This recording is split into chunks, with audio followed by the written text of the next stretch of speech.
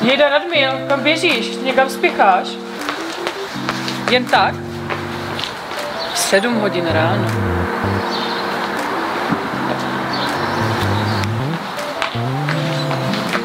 No, výborně. Huh.